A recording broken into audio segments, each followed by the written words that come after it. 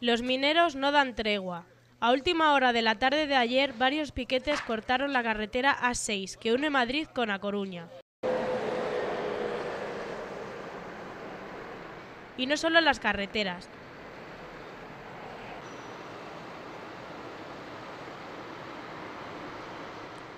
También hubo cortes en la vía férrea que une Palencia y A Coruña, que permaneció cortada varias horas debido a la quema de neumáticos en los raíles.